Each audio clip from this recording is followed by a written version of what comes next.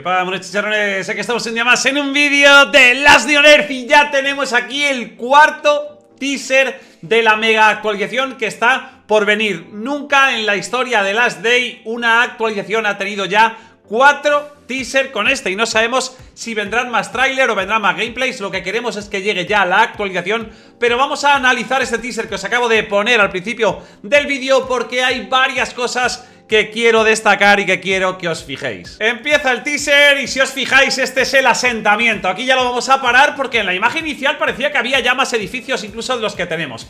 Pero no, son todos los edificios que ya tenemos terminados, o al menos yo ya tengo eh, terminados. Espero que vosotros ya los tengáis terminados y si no, dadle caña y poder acabar, para poder acabarlos pronto. Pero ya vemos todos los edificios del asentamiento, pero mejorados. Lo que se podrán mejorar en la actualización. Recordad que os estuve sacando imágenes de estas semanas atrás, ¿vale? Como estos cuartel, el cuartel, el cuartel general, el garaje, todos estos edificios que ya tenemos el muro, la camioneta, que aquí ahora mismo no se ve, pero la veremos más adelante en el vídeo, ya están mejorados. ¿Veis como todos tienen estructura metálica, que ahora mismo no la tienen? Tienen alguna antena parabólica más, ya veis que aquí este exactamente igual, alguna estructura más. Algunos focos también tienen esos edificios y ojo porque en esta parte también tenemos una parte del muro que inicialmente en el asentamiento no nos aparece, así que quién sabe si al final podremos acabar rodeando toda la base de muro o esto simplemente pues para darle un poco de ambientación.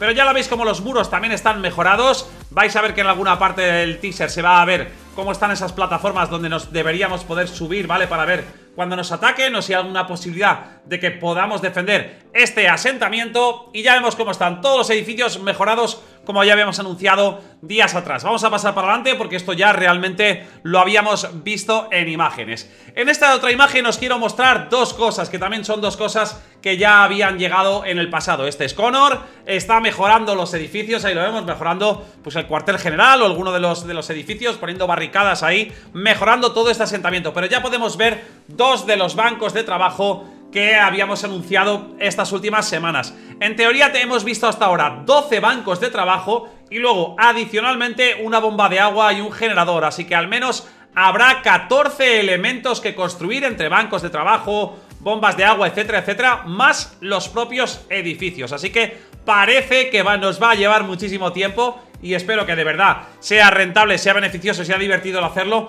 el poder eh, mejorar todos esos edificios, bancos de trabajo, etcétera, etcétera. Fijaos, este es el, esta especie de banco de cepillado de carpintero. Ya veis que estas patas, así en forma de ángulo, ya lo habíamos visto. De hecho, tengo por aquí la imagen que nos había sacado Kefir, ¿vale? Que os mostré hace tiempo. Es una especie de banco de carpintero donde habitualmente se colocan esas maderas y se cepilla, ¿vale? Con un cepillo de carpintero para alisar o rebajar, ¿vale? Afinar un poco ahí pues esas tablas de madera, ¿vale? Que pondremos ahí, que seguramente servirán para mejorar más los edificios, para reforzarlos, para hacer esos paneles, ¿vale? Que más adelante iremos colocando, como está colocando ahora mismo aquí Connor, pues estas tablas, por ejemplo, para reforzar algunos de los edificios, el muro, alguna cosa así, ¿vale? Para que eso quede mucho más liso, no queden astillas y nos podamos clavar ahí cosas, ¿vale? Y este segundo banco de trabajo, que más que un banco de trabajo, yo diría que es más bien un almacén de piezas. No sé si tendrá alguna funcionalidad de banco de trabajo, pero lo veis ahí que es una especie de almacén de piezas. Me pongo en este lado un segundito para que lo veáis mejor, ya lo veis que tiene ahí como una especie de caja en la parte de arriba, unos cuantos cajones y exactamente igual, este banco de trabajo lo habíamos visto, habían traído, ya lo veis que hay un montón de piezas nuevas que de momento no hemos visto y que se podrán fabricar o encontrar durante la siguiente actualización, ¿vale? Así que esos dos bancos de trabajo ya los habíamos visto, pero ya los vemos cómo va a quedar definitivamente, ¿vale? Dentro del asentamiento. No sé si se colocarán aquí donde están ahora mismo, fuera de los edificios, si lo podremos poner en cualquier parte, todo eso ya habrá que irlo definiendo, pero ya lo veis como estos bancos de trabajo van a estar disponibles en cuanto llegue la actualización. Seguimos avanzando, porque este detalle sí que quería que lo vierais, y ya veis cómo llega un superviviente, ¿vale? Y Connor se queda aquí parado y, nos, y le empieza a mirar como diciendo, uy, uy, uy, uy, ¿qué te pasa?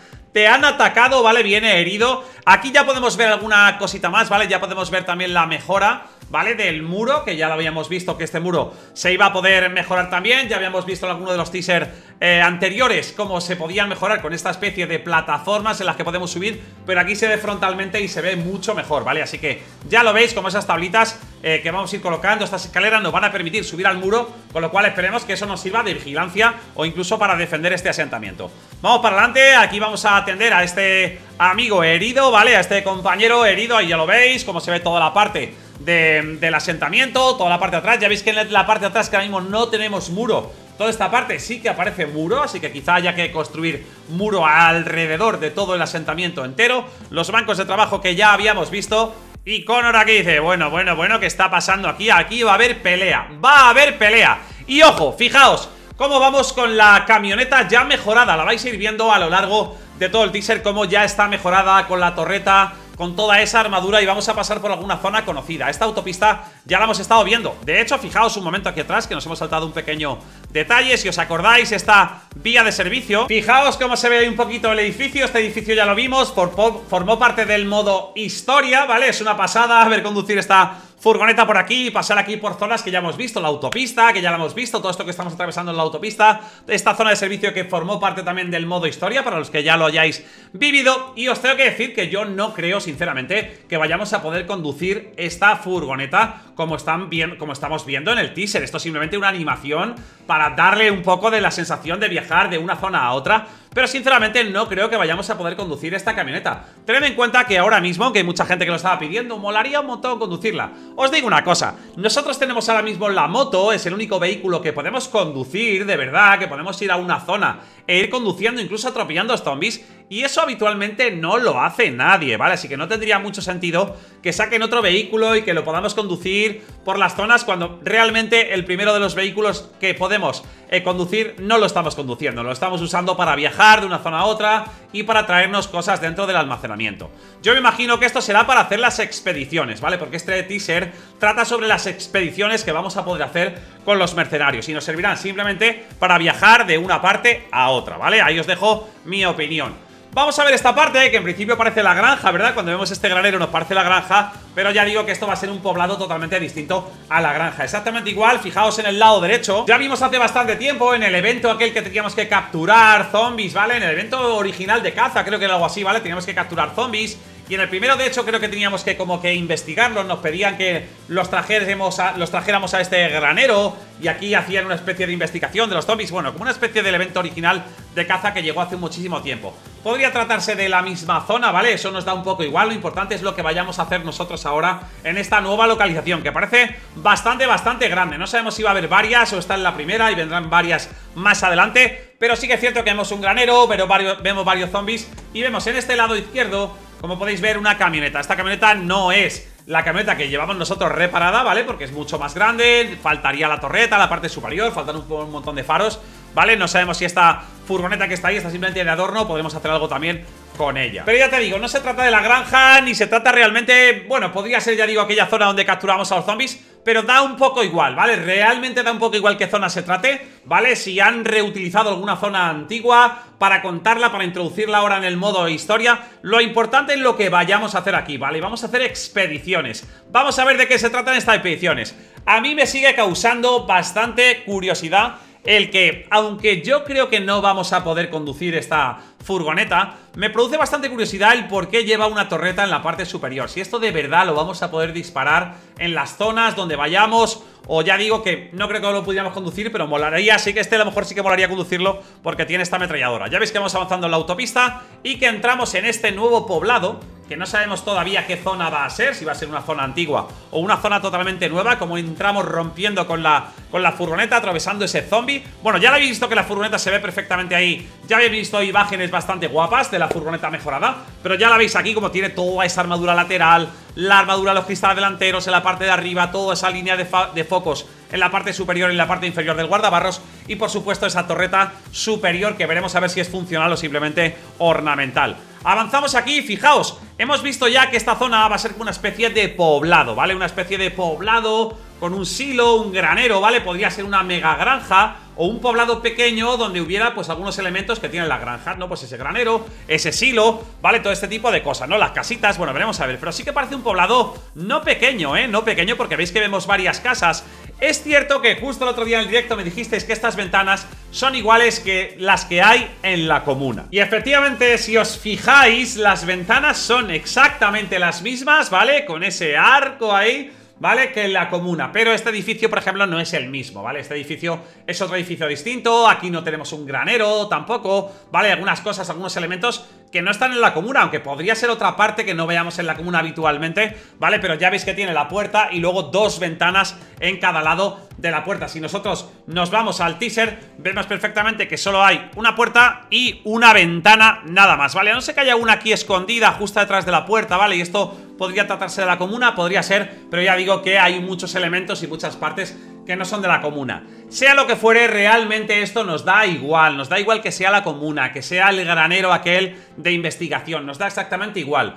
Todo lo que se pueda hacer aquí va a ser algo nuevo, no va a tener nada que ver con la comuna ni con ese granero de investigación. Será para hacer nuevas cosas, nos dijo que decir que venían nuevas mecánicas. ¿Vale? En el juego y venían nuevas tareas y nuevas cositas para hacer. Así que nos da exactamente igual la zona que sea, si es una zona que ya conocemos, como si es una zona que no conocemos, ¿vale? Las misiones o lo que tengamos que hacer aquí va a ser algo totalmente nuevo. Ya lo veis que no es una zona pequeña porque vamos ampliando, ¿vale? Ya veis que tiene varios edificios, por allí vemos el silo, vemos el granero al fondo, vemos esas jaulas metálicas rojas por allí al fondo donde están guardados los zombies, ¿vale? Veis que como viene un montón de zombies, una zona amurallada, ¿vale? Totalmente amurallada, ¿vale? Pero que al final se han acabado colando los zombies La muralla no ha servido absolutamente para nada Y fijaos como cuando llegamos aquí ya vemos, vamos a ponerlo así, que se ve un poquito más definido Ya vemos los cinco mercenarios, ¿vale? Me imagino que estos cinco mercenarios los podremos usar No sé si todos a la vez o nos podremos ir trayendo cada vez a uno Y cada uno tendrá unas habilidades distintas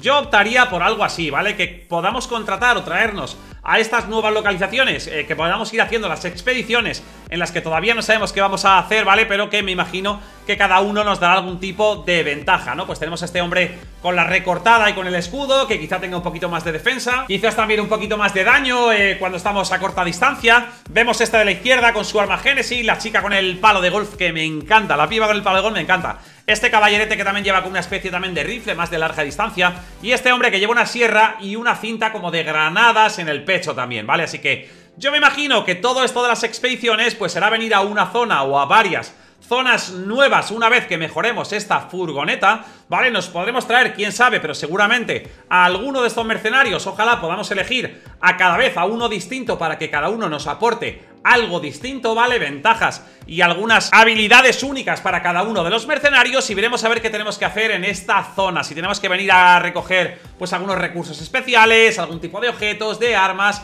cosas que nos ayuden a seguir mejorando nuestro asentamiento, todo eso ya lo veremos. Pero el caso es que Kefir está echando el resto con esta actualización, cuarto teaser que llega uno específico para hablarnos de las expediciones, ¿vale? Una especie de misiones tácticas en las que tendremos que llevar nuestra furgoneta, mercenarios y afrontar los peligros que nos vayamos a encontrar en estas nuevas zonas. El otro día me preguntaste si esto era contenido permanente y obviamente sí. No tendría ningún sentido que después de hacer todo esto fuera simplemente una zona temporal. Todo esto es definitivo. De hecho, formará parte del modo historia. Habrá que seguir seguramente avanzando en el modo historia, haciendo misiones en el modo historia, pero las mecánicas que vengan, todas estas misiones, todas estas expediciones, los mercenarios, la mejora de edificios, todo eso va a ser contenido permanente, que se va a quedar para siempre en el juego como todo lo que tenemos ya hecho en el asentamiento, ¿vale? Todos esos edificios y la furgoneta, todo esto va a ser contenido permanente. Y obviamente todo lo que vendrá también. Yo por mi parte estoy hypeadísimo y no puedo esperar más a que llegue la actualización.